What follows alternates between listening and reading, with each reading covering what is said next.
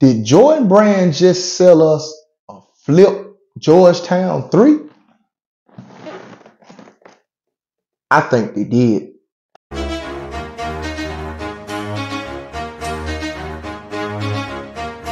Superset King, aka Mr. Get Your Tape Top Ready.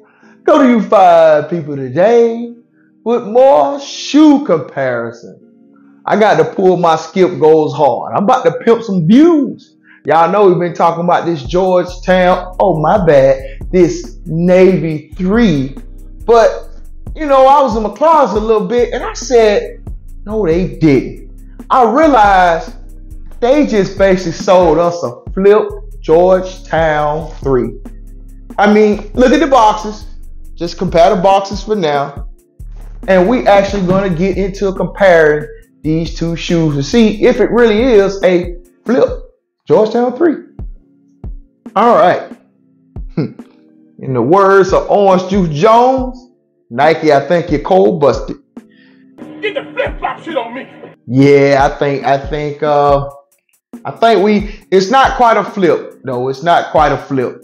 Uh the one thing I will that is a flip is this blue here and the actual gray here. That's a flip.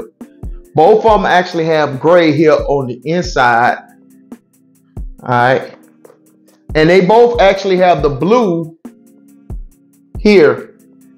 As you can see, it's more of a shiny finish in this uh, midnight navy. This is more like a matte. Uh, once again, I told you that elephant print is about like how it's supposed to be. This is that elephant print, the same that you'll see actually on the Fire Red 3 right here. So, yeah, I mean, you know, let's look at the bottom. Ooh, buddy. Talk about closer than close. Yeah, they they are they was hitting something. Collar, you got your blue here, your gray here. It probably could pass for Georgetown like home and away. It it probably really could. The telltale sign is the back though. With the Jumpman. One has the blue Jumpman, one has the white jump man. Uh inside. Oh, well, let's compare those. Of course, my Georgetown is not uh DS.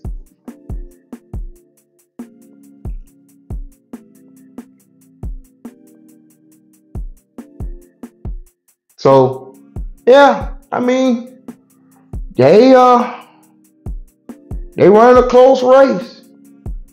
I still say the leather's better actually on these right here than they are in the Georgetown 3.